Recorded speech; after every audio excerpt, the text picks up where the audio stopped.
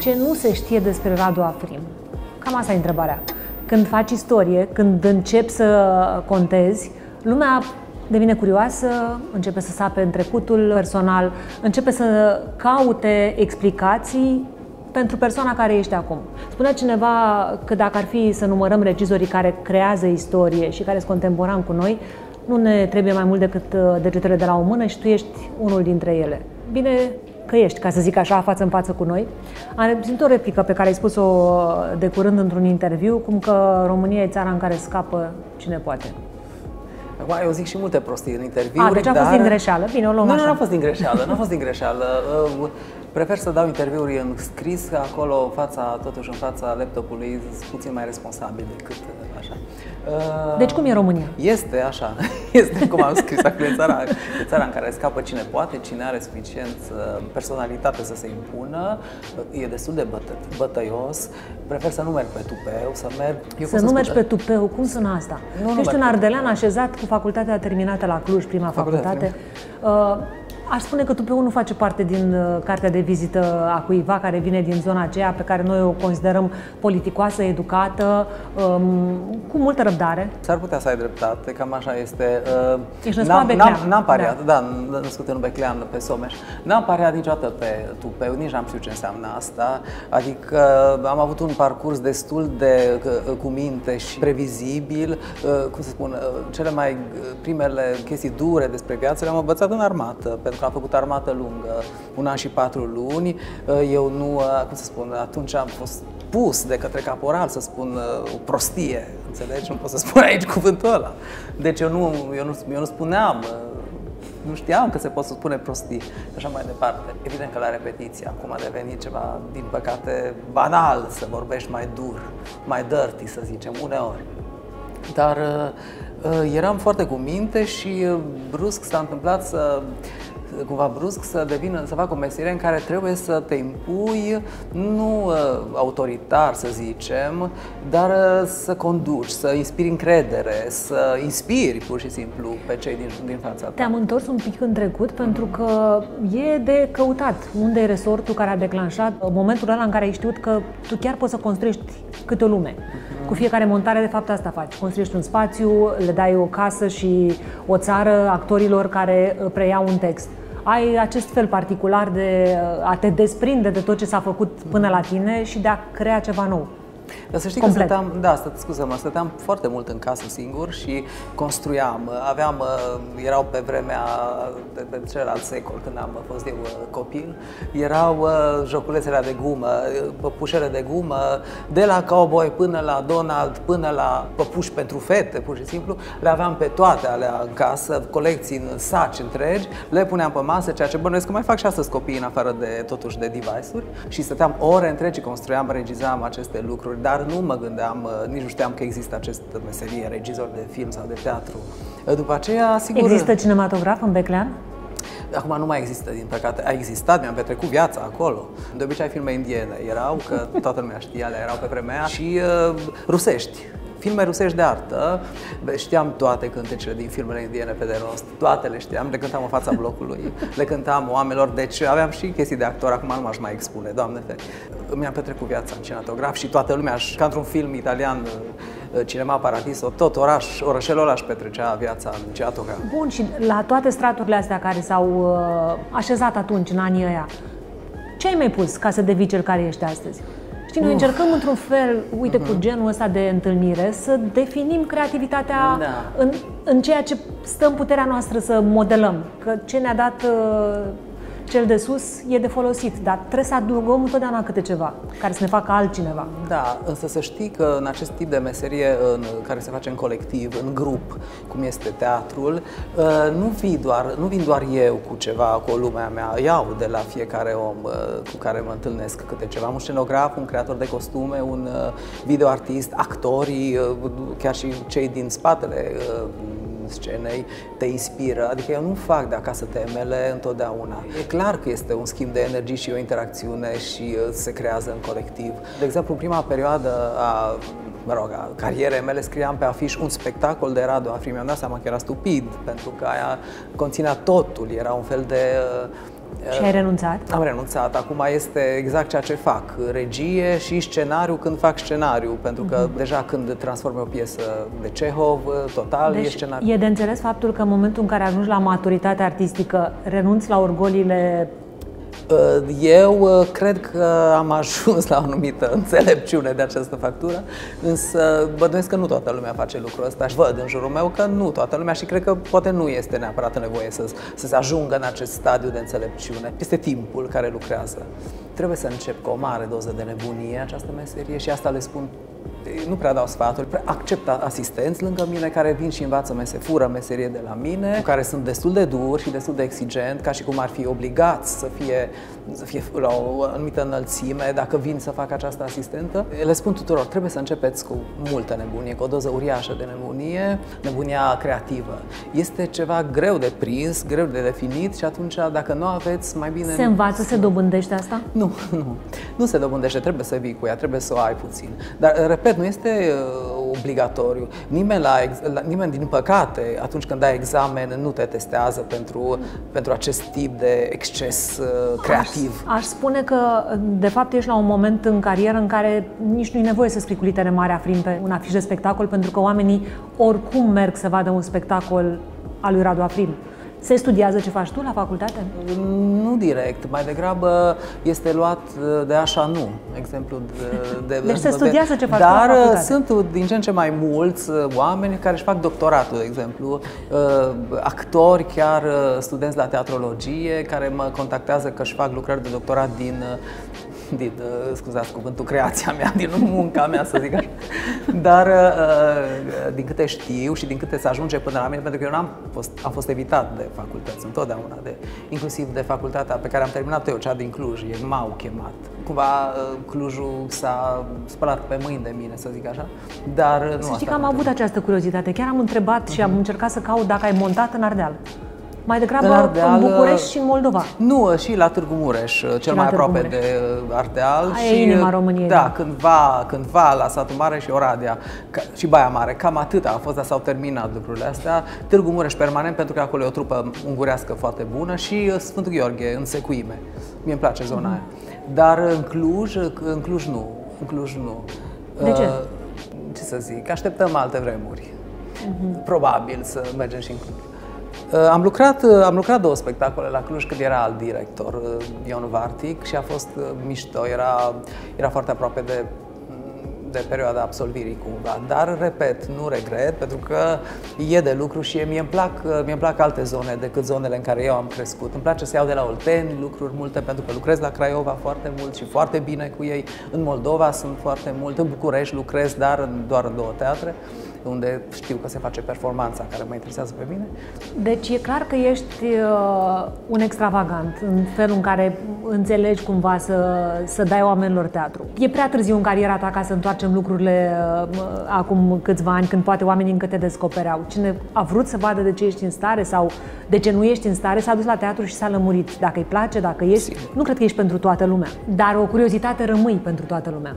Nu le e frică directorilor de teatru să mizeze pe ceea ce tu faci? Nu există pericolul de a șoca atât de tare încât să obții reversul a ceea ce îți dorești?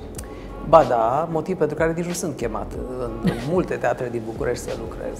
Adică unde se preferă comoditatea, unde se preferă locul comun, unde se preferă uh, unde uh, aș putea... Adică, știi, uh, Montezi uh, în continuare la Teatrul Național? Uh, la, la Național. Și la Odeon. Uh, dacă... Și la Odeon. Mm, nici măcar de când s-a schimbat Dorina Lazar, n-am prea fost pe acolo. Dar, dar treaba este că... La Odeon ai pus unele din cele cel mai, mai e adevărat, e de adevărat. succes spectacole ale lor.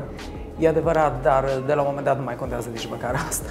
Deci ă, trebuie să... Și, și eu m-am dezobișnuit să mă uit înapoi, îți spun sincer. Adică mi-a, ă, chiar îmi displace să vorbesc despre spectacolele pe care le-am făcut. Teatru oricum este efemer și nici nu mă întorc la texte făcute altă dată să le revizitez, să fac, să le pun altfel în scenă. Hai să mergem înainte. Nu, nu, nu. Păi mergem înainte mm-hmm. acum într-o formă pe care anul ăsta de da. um, retragere pe care l-am avut toți ne obligă să să o învățăm. mergem la spectacole care pot ușor să devină vizual valabile, pe care să le putem vedea și pe un ecran de calculator, deși niciodată starea și energia pe care ți-o dă o sală de spectacol nu va exista acolo. Te-ai gândit la genul ăsta de producție? Uh-huh. Știu că ai încercat. Da, uh, am refilmat, am filmat uh, ca un, ca un film uh, Oraș cu fete sărace pe care l-am făcut aici la Iași, chiar în buza pandemiei anul trecut. Simt că este un spectacol valoros, care trebuie să fie văzut, care altfel nu putea fi văzut nicăieri, în afară de Iași.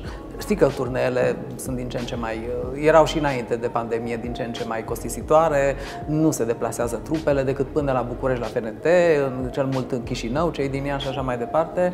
Este o oportunitate să te prezinți uh, onorabil în Europa și în alte locuri cu spectacole filmate profi, cu cinci camere, uh, cu regizorul original de față care zice Uh, zice, acum urmărești cu camera actrița aia, nu ești spectator, intri în decor, mă interesează lucrurile, se, poate fa- se pot face lucruri fabuloase și la sunet și la imagine, dacă teatrele încep să se doteze cu tehnică bună.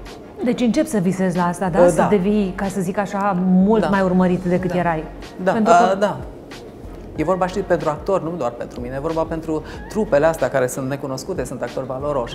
Și la Iași și nu spun lucruri ieftine, uh, care nu sunt cunoscuți la București sau chiar regizorii de film trebuie să-i vadă cine e fata asta pe care nu o știam. De multe ori alți regizori de film vin și văd, văd spectacole și și-au actori. Radu Junde, Tudor Giurgiu au fost la spectacole și au, au ales alți oameni să joace filmele lor decât cei, care, cei 3, 4, 5 care joacă în toate filmele românești. Să nu mai spunem de faptul că uh, premiul uniter pentru cea mai bună interpretare uh, feminină de, a fost ala de Lupu, de, care juca la tine. Da, aici în uh, Dansul de Eli și anul următor, nu, nu, a jucat în Măcerea lui Iov și a luat premiul uniter și anul următor a luat Pușadari, altă actriță de aici pentru Dansul de Eli. Chiar mă bucură pentru că știu cât au muncit femeile astea și cât au îndurat ca să, ca să iasă rolurile alea. Dar... Uh, Se vorbește acum de faptul că suntem într-o epocă în care creativii cumva uh, obligați, dacă vrei, de momentul în care uh, ne aflăm, apropo de digitalizare, de eficientizare, dacă vrei, a mesajului artistic, lucrează împreună.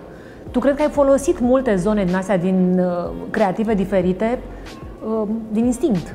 N-a fost nevoie să vină o pandemie care să te învețe că ai nevoie de imagine, că ai nevoie de video, că ai nevoie de muzică, de dans. Adică tu oricum le foloseai. Da, chiar licența la Cluj în 99 mi-am dat-o dintr-un proiect video la Casa Transit, era o videoartistă, Cila Chionței, era un spectacol foarte uh, social, din 2021 era. Era pentru 2021 exact aceeași probleme care acum au venit din nou și era foarte pe video, aveam DJ, aveam uh, romi în spectacol, era extraordinar, era, era de astăzi, îți spun. Dacă, deci, la fel de bine ar merge și astăzi. Însă, uh, însă nu m-am gândit niciodată la aspectul cel mai important, conservarea lor pe suport video uh, profi. Știi? Și ca dovadă, pandemie Uh, s-au dat uh, multe din spectacolele mele și am regretat, n-am vrut. Nici n-am fost de acord, dar nu mai sunt ale mele. nu erau făcute pentru... Nu, nu erau, nu erau făcute. făcute. Erau făcute pentru, pentru uz intern, pentru actori să-și amintească când se reiau și așa mai departe. Dar uh, nu am putut să intervin, să opresc difuzarea lor. E, e momentul în care va trebui, într-un fel sau altul, și la tine să apară întrerupătorul, să declanșeze o reinventare. Acest eveniment pe care îl pregătim la Iași, Romanian Creative Week, are ca slogan In Between. Suntem cu toții între ce a fost, între ce va urma, nu știm încotro, încercăm să luăm decizii. Eu te simți că, așa sau mereu te simți așa? Da, e frumos să spun că mereu mă simt așa și s-ar putea să sune neadevărat. La un, păi la un regizor așa între două spectacole ești tot timpul între lumea pe care ai creat-o și aia pe care da, o ai pe agenda. E adevărat, dar rămân, că sunt, sunt reminiscențe din fostul proiect care n-au mai avut loc acolo, totdeauna intră în următorul, ceea ce nu înseamnă neapărat o reinventare. Dar eu cred că trebuie să vină organic această, această reinventare treptată. Nu cred că este un vaccin în care te schimbă total, deși în fiecare dintre noi există deja germenii după acest an, germenii unei schimbări. Ai grijă ce spui. Când vorbim despre vaccin trebuie să fim foarte expliciți. Despre ce germeni vorbim e bine să fie explicit. Da, e adevărat, dar, dar nu cred că o reinventare vine așa că îți propui tu. Adică și Picasso a scăpat de perioada albastră când i-a venit, bănuiesc, când a venit timpul. Nu acum... Destul de greu. Exact. Și nu... Uh, cel mai greu este să renunți la unele lucruri care îți mergeau, care ți se potriveau, care erau ale tale și uh, aveai, cum să spun, aveai semnătura ta pusă pe ele pe care le-au luat deja alții, fără să recunoască că le-au luat și așa mai departe, dar e, e bine să știi să renunți. Apropo de asta, ce mm-hmm. faci când vezi că ești copiat? Când simți că da, ceva de la nu, tine s-a preluat? Nu e rău, nu e rău, mm-hmm. nu e nici bine, depinde cum e. Observa alții în general. În cronici mai apare, sunt afrimisme, astea, ca așa se zice. Afrimisme. Exact. Niciodată n-am, nu m-a scandalizat. Mi-ai furat o idee, un decor, nu știu ce. Ai fost vreodată la un interviu de angajare? Dacă am fost la interviu? Da, ai fost vreodată să te Am fost la interviu uh, înainte de a începe. Am vrut să mă fac uh, la radio, să lucrez în radio, când a apărut radio private prin uh, eram student la litere pe mhm. vremea aia, în 90 și ceva, la Cluj, am dat foarte multe, cred că toate erau aranjate, nu știu cum, n-am luat niciodată niciun nimic din interviu. Prima dată am vrut să mă fac vitrinier în orașul meu când eram în uh, clasa 12 și acolo am fost la un interviu, dar era pe vremea comunismului. Ce îți dai seama ce vitrina vitrine... cărui magazin? Uh, vitrina de sport, magazinului de sport, că era cel mai, cel mai ofertant. Uh, și era cu pescarul amator, cu vânător, cu de-astea. Mai puteai să faci ceva din polistiren, mm-hmm. dar îți dai seama că eram uh, fan de, fantezia mea mergea mult mai departe decât epoca ar fi permis, cred. A, și am dat concurs pentru postul de uh, profesor de multe ori, pentru că am terminat filologia și 5 ani de zile am fost profesor de română și nefiind uh, fixat, în fiecare an dădeam uh, un fel nu era titularizat. Dădeam, exact, dădeam acest examen în fiecare vară. În paralel făceam și teatru. Deci a, cam acolo s-a oprit uh, Uh, examenele mele, concursurile mele, pentru că după aceea mm, s-a întâmplat că am intrat în acest sistem, telefoanele sunau, din fericire n-a fost nevoit să pun eu mâna pe telefon să sun. A Hai fost... să aplicăm un scenariu, știu da. că pare greu la, um, ce să zic, um, etajul la care ești acum, ca să nu zic nivelul că sună uh, pompos. Se închide tot. Mă refer la finanțări, că uh-huh. clădirile probabil că încă le mai avem. Și ești obligat să o iei de la capăt. Te duci la interviu, uite, ai o cameră în față și trebuie să spui despre tine ceva care să te califice să prinzi o slujbă. Ce spui? Cine era Radu Afrim azi? Nici măcar diploma nu am. Că nu, nu știu pe unde am pierdut-o mutându-mă dintr-un oraș în altul. Nu mai am nicio diplomă de absolvire. Uh, uh, deci nu există nimic, s-a șters internetul, toate sutele de interviuri, tot ce s-a scris, dar ok. Întotdeauna când am fost în situații limită, ceva s-a întâmplat, a existat un declic și am găsit soluții. Și nu vorbesc neapărat de financiar, de probleme mult mai grave decât cele financiare, pentru că n-am avut neapărat o viață dincolo de profesie roz, n-a fost.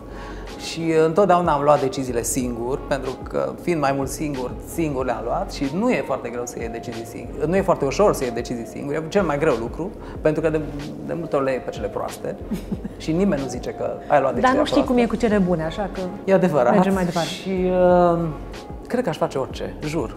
Adică aș putea să reinventez chiar și această meserie, cumva, din nimic deja începem să lucrăm din recondiționări, din, re, din sărăcie, din, deja în anul acesta este ușor, nu este ușor. Cred că dacă cineva ar vrea să pornească cu mine la un drum de la zero, dar vrea într-adevăr, totuși în această meserie pe care să zicem că am demonstrat că o știu să o fac în acești 20 de ani, care nu sunt puțini, Cred că ar putea să iasă ceva interesant pe ruinele gloriei care am fost până acum, dacă e să vorbim despre asta. Din păcate, n-aș putea să mă fac bucătar, că nu știu.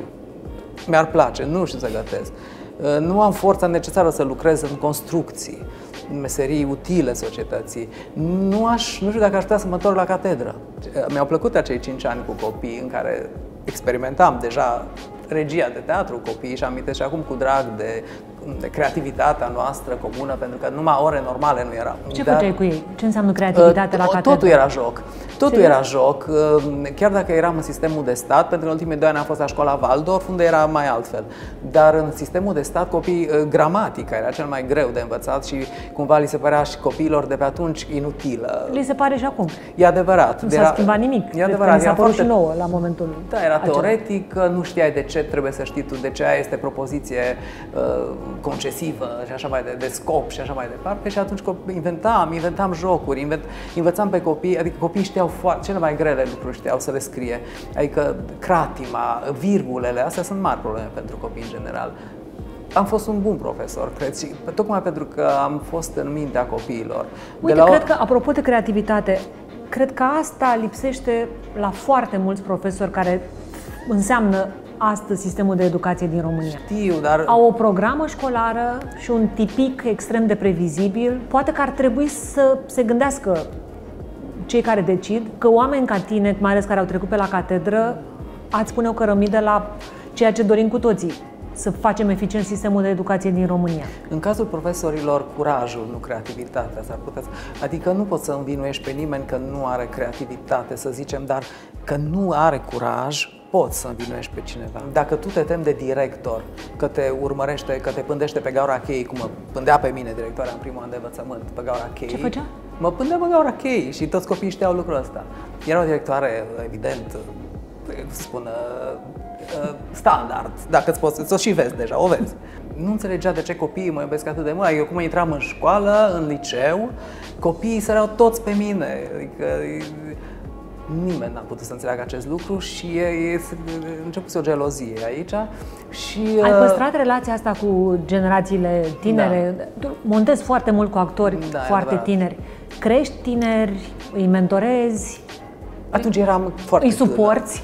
Uh, dacă îi suport, da, dacă sunt... nu sunt gelos pe tinerețea lor. Nu, sau... pe, pe faptul că ei sunt complet diferiți cumva de generația ta. De, ei sunt niște da oameni care nu. au mai puțină răbdare, care sunt mai informați, superficial, dar informați mult mai mult decât, să spunem, generația noastră. E adevărat, dar să știi că de multe ori mă trezesc că le pun în mână un, un film treci acasă și uite-te la filmul ăsta. N-ai văzut Solaris? Treci, uite-te să vezi ce înseamnă o resuscitare, ce înseamnă o iubire dincolo de moarte și așa mm-hmm. mai departe. Chiar acum a fost situația asta și foarte dur o fac, această educație cu forță. Dar uh, nu mi se par total, total, total diferit, să știi, de generația noastră. Nu Cum mi se sunt? pare, pentru că pe undeva am furat și noi din uh, din nerăbdarea lor, din, din uh, lumea lor uh, virtuală, pentru că și noi totuși folosim același limbaj, chiar dacă nu suntem dependenți atât de rău. Nu mi se par total diferiți și, și să știi că nu mi se pare că există vreo diferență între o actriță de 60 de ani și o actriță de 30 de ani. Nici o diferență nu există. Sau poate că reușesc eu să egalizez aceste lucruri, să îmbătrânesc actrița tânără și să mă, o fac să, să mă știi că replica asta trebuie scoasă din context și rulată. O să, o să bucură mulțime de, nu există, de artiști din România. Nu există. Eu am lucrat la Odeon atunci, Joy Mega Joy, cu toate actrițele de vârstă ale, ale teatrului. Era o bucurie fiecare repetiție.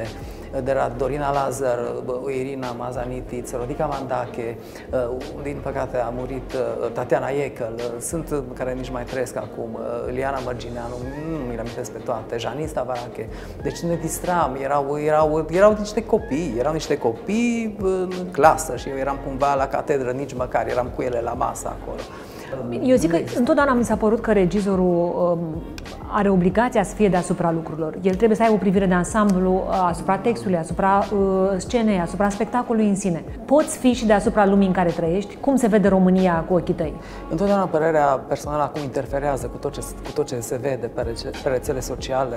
Nu poți să te izolezi total. Chiar dacă am încercat, uh, stând și pe acasă în acest an, să nu mă uit la televizor, uh, mai trăgeam cu ochiul la știri, nu puteam să fac abstracție de acest lucru. Deci sunt documentat, sunt informat. Mereu ai tendația să zici, e înspre bine, România e înspre bine. Și după aia dai un pas înapoi. Este așa frustrant să-ți pui o speranță și a doua zi să-ți cadă în cap o lume întreagă. Nu e o evoluție vizibilă în această societate, nu e constant ce se întâmplă, nu e, nu e pe termen lung. Ce lipsește? Lipsește, lipsește viziunea coerentă a celor care conduc, lipsește vocea profesioniștilor, lipsește puterea profesioniștilor. E multă impostură, ipocrizie în continuare, lucruri despre care vorbeam și acum 20 de ani. Sunt neschimbate. Pe mine nu mă miră, nu mă șochează, pentru că cumva, fără să fiu un vizionar, puteam să prevăd acest, acest drum. Fără să mai zic, ce nu puteam să prevăd, prăbușirea Europei. Totuși nici Europa nu mai e ce a fost. Deci atunci, în acest context, de ce am fi noi mult mai bine decât Europa, deși a fi putut cumva. Treaba e că nu s-a mizat neapărat pe profesionalism și asta este cuvântul totuși de bază în orice, în orice meserie. Nu, a, nu, nu, e, nu vreau să intru în detalii, toată Sunt multe știe. domenii, mai ales în zona creativă, în care se spune că această generație a noastră, care am terminat școala la limita finalizării uh, epocii comuniste, a existat doza de noroc am intrat cumva în democrație pe teritorii uh, virgine. Era nevoie în multe domenii de oameni cu inițiativă. Era nevoie de deschis drumuri. Tu ai fost în generația asta în care să zicem că te-ai bucurat de norocul ăsta. E foarte adevărat. E foarte adevărat. Nu mai era niciunul ca tine când uh, ai apărut tu. Să zicem, să zicem și lucrul ăsta și uh, asta este trist, că astăzi în foarte IT, greu. în modă, în, IT, în, în era, sunt, sunt domenii în care da. Se spune că ce ai putut să faci ușor acum 20 de ani, acum devine foarte complicat. E o competiție de alt gen, e alt tip de business uh, până la urmă. La tine, da. la artă, poate că, poate că e mai ușor acum. Uh, era o perioadă în care se experimenta. Uh, confuzia aia și uh, cumva uh, societatea aia din care nu se înțelegea nimic și și dacă ne uităm acum retrospectiv nu înțelegem nimic. Dar nu te încuraja nimic să experimentezi în felul în care ai făcut-o tu. Ba da, eu am primit niște impulsuri. Adică, bine, am, am fost dat cu piciorul în fund din Teatrul Național din Târgu Mureș și am ajuns la București, ceea ce a fost așa un șut în fund foarte util. Lumea mai zicea, wow, ce face asta? De unde știe? Fără să avem noi, totuși, uh, uh, YouTube, fără să avem uh, atunci uh, posibilități de a, ne, de, a da. ne conecta cu ce, cu ce este în Europa, aproape deloc. Să știi că uh, întotdeauna uh, societățile confuze, lucrurile dintre uh, o societate și alta în care nu s-a construit că nimic, dau loc Adică gândește-te după război ce a rămas, s-a, s-a construit o lume întreagă, o lume nouă în care, în care și fantezia avea loc și riscul avea loc. Eu cred că, eu cred că atunci când lume, unii alergau să pună mâna pe foarte mulți bani, cum a fost și Caritas și cât au fost în anii ăia, alții atunci aveau, aveau, erau visau visau și ziceau uh, alții despre ei, lasă să viseze, e nebun, hai să facă și la un spectacol, că de aici ne iese și nouă ceva. Probabil că era și asta. Spectatorii uh, nu erau pregătiți. Eu acum în ei am cel mai puternic al, uh, aliat. Dar înseamnă că totuși s-a ajuns la un alt, în, într-o altă ligă, s-a ajuns într-un alt nivel. Nu mai, dacă tu vorbeai de teama unor directori de teatre de a mă evita, nu neapărat că voi fi scandalos este teama, ci teama de a schimba ceva cu trupa lor, de a, de a, de a vedea de a, de a uh, mai pune o, o cărămidă pe performanță, de a nu se mai putea întoarce ei înapoi la lucrurile facile. Asta este mai, mai... Pentru că actorul, când a dat deja de o provocare, când este pus să fie creativ, când actorul trebuie să se reinventeze, când trebuie să ajungă pe alte teritorii decât a fost până atunci obișnuit, atunci regizorii comozi și oamenii care sunt obișnuiți să facă regie de, de cameră, regie, regie călduță, puși în fața acelui actor care a fost provocat înainte, nu mai, nu mai prea are câștig de cauză. Și directorii, unii directori de asta se tem, că se schimbă puțin viziunea, se schimbă puțin pretențiile oamenilor. Dar ai lucrat cu cu studenți, știu că ai mai luat o grămadă, și la Iași, tot timpul. folosit păi, foarte mult. Lucrez și cu civili foarte mult. Dacă aș face film numai cu civili aș lucra. Dar uh, la teatru totuși e foarte greu că trebuie să fixeze niște stări de la un spectacol la altul. Dar am lucrat numai cu studenți și acum la Iași sunt 8 studenți în spectacol, care săracii vin pe o sumă, na, înțelegi? Studențească. Nici măcar. Înțelegi? Deci e grav, dar săracii, eu îi văd că sunt fericiți, știi? Adică sunt ok, sunt acuia. Și după aia îmi pare rău că se rupe lanțul, știi? Adică mă duc de aici și nu știi sigur dacă se va mai lega ceva. Da, asta cu um, abordatul unor oameni care nu vin din lumea artistică, uh-huh. da? Lucratul ăsta cu civil, cum zici tu, uh-huh. ajută, coboară, îți dă doza aia de exotic? Ajută ajută, autenticul, ajută, ce, ce ajută e de pe stradă? foarte mult. Păi, de exemplu, am făcut un spectacol cu uh, romi la Sfântul Gheorghe despre oameni și cartofi. Nici nu putea să fie cu altceva, pentru că era vorba de a ajuta niște familii, de a, de a și în urma spectacolului chiar uh, s-a întâmplat o chestie miraculoasă, zic eu. Și uh, erau poveștile lor, era Ce anume? lumea lor, cultura zi, lor. Zi povestea până la capăt. Păi povestea era foarte tristă. Povestea era un accident uh, în urma căr- căruia au murit uh, foarte mulți oameni. Era un accident de lucru, o remorcă aducea oamenii de la cartofi, că asta este sursa lor de trai, cartofi și fierul O poveste vechi. reală. O poveste reală, tristă, tristă de acum câțiva ani. Și uh, oamenii care au rămas uh, în acele familii să vorbească dacă pot și vor despre ce se întâmplă cu viața lor acum, pentru că au murit oameni, mama, tata și așa mai departe, copii, fete, tinere și așa mai departe. Și din asta s-a născut o poveste, zic eu, foarte adevărată. La... Deci ai făcut un spectacol cu mărturisirile acestor Cu mărturisiri și era documentar, era și video jumate, mm-hmm. pentru că uh, ei, uh, unii copii erau în scenă și se jucau, dansau, vorbeau, Uh, despre aceste lucruri, dar cele mai multe documente erau pe video, puse live în spectacol. Și nu-i păcat ca un spectacol de ăsta, care e clar că are o dimensiune socială, dacă vrei, uh, terapeutică, să nu fie filmat, să nu fie construit și pentru video? Uh, păi ba da, jumate este el un film în sine și acum eu urmează să mă duc în în mai acolo și bănuiesc că o să reau această idee și în El a fost destul de văzut, ca umblat, a avut un turneu de asta de incluziune socială prin țară, a fost văzut, a fost și la București, apoi la Berlin, a fost, dar uh, nu asta, au, au venit pur și simplu uh, mașini încărcate cu uh, haine, cu mâncare pentru acele familii, cu bani, cu... Da, sigur, dincolo de aceste ajutoare care sunt cumva... Dintr-un spectacol de teatru, da, nu dintr-un manifest uh, de pe Facebook. Nu, nu, nu, pentru că era însoțit totuși de această poveste, întotdeauna spectacolul și după, după spectacol erau discuții cu spectatorii. La București, la FNT, a fost un impact emoțional foarte puternic, de altfel, cu acest Bine, spectacol. oricine a văzut un spectacol de-a tău, măcar unul, dacă nu mai multe, știe că ai o obsesie a detaliului. Nu-ți place să lași colțul camerei nemăturat. Și cred că asta se vede și dacă cineva, apropo de rețelele de socializare, te urmărește. Ai această bucurie de a decupa uh, colțuri de lume pe care majoritatea nu le vede. Da. Grădinile oamenilor, o, o găină care... Scara din spate. Scara din spate, Niciodată da. bulevardul principal. Niciodată bulevardul. Nu, niciodată, pentru că asta, asta ține de primărie, asta ține de altceva, de reclama orașului, de... Nu, eu nu, dar nici nu vreau să arăt lucruri urâte. Sau pentru mine nu sunt urâte, pentru unii s-ar putea să fie urâte. Pentru unii oameni cubul din fața teatrului din Iași e urât, pentru mine e interesant, e frumos și util. Mm-hmm. Deci oameni care, adică eu văd, sigur că e o casă greu locuibile, să spunem, dar mie uh, trecutul acelei case îmi spune ceva. Uh, e adevărat că omul s-ar simți mai bine dacă ar avea niște termopane călduroase și așa mai departe. Mie nu mi-ar place să fie termopane, deci sunt alte lucruri de... Dar uh, mă interesează istoriile din, din spatele acestor lucruri și de regret că nu am găsit încă timpul și nu știu dacă o să mai vreodată timpul să fac, să mă ocup numai de aceste lucruri. Ce nu știe lumea despre Afrim? Asta e o întrebare la care n-am găsit răspunsul. Păi, cu care depinde ce, ce, am văzut, depinde ce caută lumea pe Google.